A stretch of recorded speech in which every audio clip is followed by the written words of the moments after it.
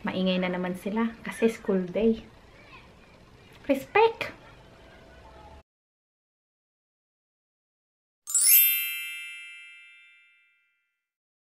Hi guys! Welcome back to my channel. So for today's video, I created this look using this! The Modern Renaissance um, Anastasia Beverly Hills eyeshadow palette. This look is different from yesterday look, so I just did this today. And yeah, if you want to see how I created this look, just keep on watching.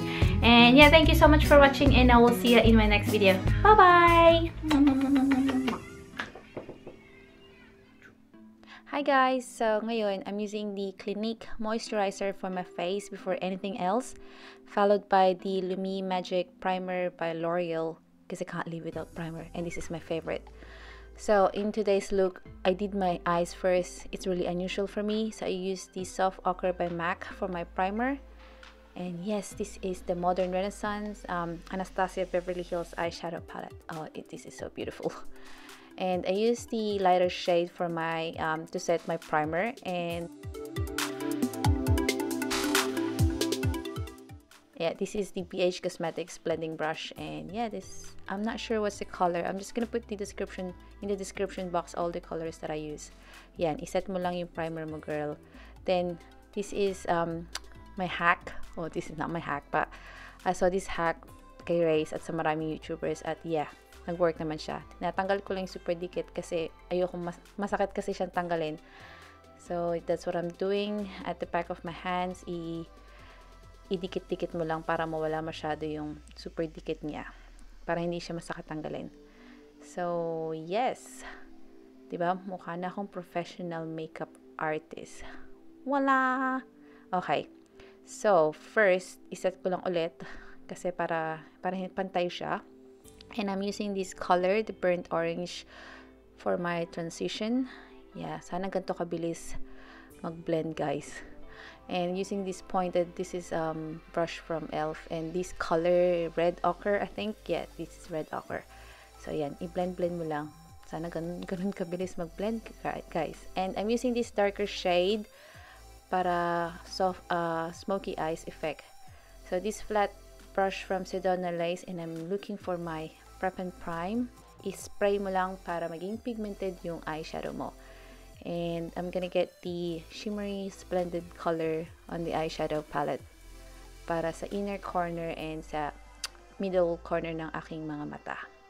And balik tayo sa blending brush. I-blend-blend lang natin sila together. And this color, I'm not sure what's the color, but this is really, really beautiful color. I-add ko lang siya para maganda. Balik ulit tayo kasi nawala yung kulay niya.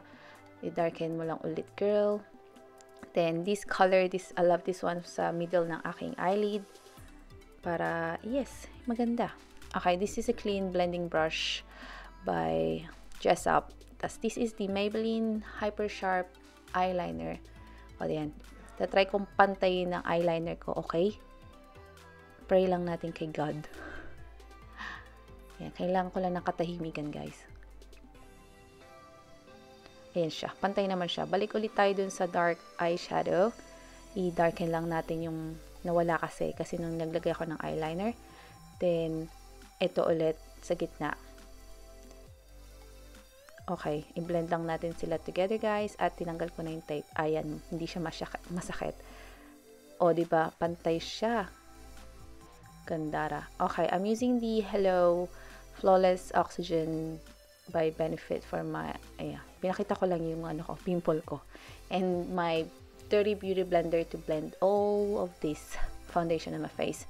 So, I'm using the, hindi ko alam kung paano iharap yung Pro Concealer na creamy beige for my concealer today. I really love this one. Super natural looking niya lang. Ayan, i-blend lang natin sila using my, my beauty blender. So, I'm using, oh yeah, super powdery nito na RCMA, the no color powder. Look at this guys, naubo pa ako, 'di ba? Yan, itinakta ko siya kasi ganyan ang gusto ko. Ay, napadami. Ganyan ang gusto kong gawin sa powder ko. Then, i-bake lang natin yung concealer natin. Kasi, yes, i-bake mo lang. Ibalik ulit natin, sayang. Ayan, ang dami. Pa, powder everywhere. Kaloka. okay, naubo-ubo ako. Ayan, nasagi ko pa yung camera. So, yeah, iset lang natin yung eyebrows natin before ko tanggalin yung baking ko. So, I'm not sure how many minutes. Siguro mga 15 minutes ko ginawa yung eyebrows ko. So, super bake na bake na bake. So, I'm using this Suiva. Suiva, Suiva, whatever.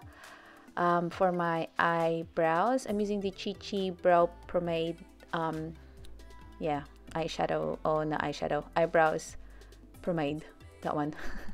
That's what I'm using. Then, yeah, tinanggal ko lang yung yung baking natin. Yep, that's it. And I went back to the um, eyeshadow palette para sa bottom lashes, bottom, yeah, bottom ng aking mga mata.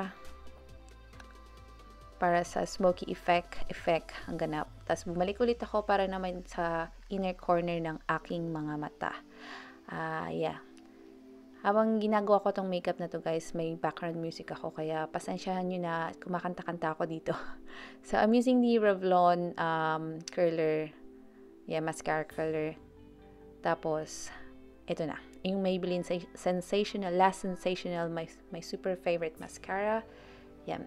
Magmamascara lang tayo guys. Nakanganga. Kasi ganyan ako magmascara. And this is the Maybelline as well. Tapos, ginamit ko lang yung maliit na wand for my bottom. Tapos, hindi ako satisfied. Ayan, kumakanta ako, diba? Para lang akong baliw. Ayan, ginamit ko yung The Real by Benefit kasi hindi ako satisfied dun sa Last Sensational. And I'm using this Maybelline sa Tight Line My Line. What? Waterline. Then, that one is um, Colourpop. So, this is my Kat Von D contouring palette. So, this is what I'm using today to contour. Yep, that's how I contour. Sana ganun kabilis. Tapos yung lighter shade to bronze my face. Pinblend ko lang. Siguro mga 20 minutes ako nag-blend nito guys. Tapos ginamit ko yung banana shade para sa aking um, ilalim na mata. Ayan, ang aking kanta-kanta effect.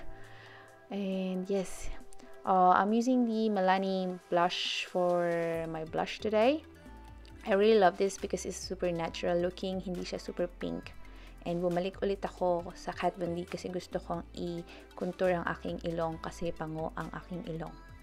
Joke. so yeah, for my highlighter, I'm using the Glow Kit Sun. Yes, super, super good. Love, love, love. super weird ko talaga. So yeah, kumakanta-kanta na naman ako. So I'm using this um, brush from Dress Up. So, pinaghalo ko yung Summer and Moonstone for my highlighter today. And yes, this is this is my highlighter today. And I'm using the tourmaline, tourmaline sa inner corner ng aking mga mata using just my finger. I love it. Super love ko itong highlighter na to guys. And okay, so i yeah, just spray spray lang natin guys para ready to go na. I'm just gonna do my lips. Yeah, ubo, ubo yeah, dry mo lang, dry mo lang yan, girl. Okay. So, I'm using Popo kasi super dry ng lips ko this past few days kasi malamig. Ah, uh, yeah. Diba? Sarap. Sige pa. Yep. I'm gonna use the Jeffree Star, uh, yeah, Jeffree Star Rose Matter and the Posy K by Kylie. That's my lip liner today, the Posy K and the Rose Matter sila. Silang dalawa ang ang aking perfect combination. So that's my look today guys. And yeah, I hope you like this video and I will see you in my next video guys. Bye!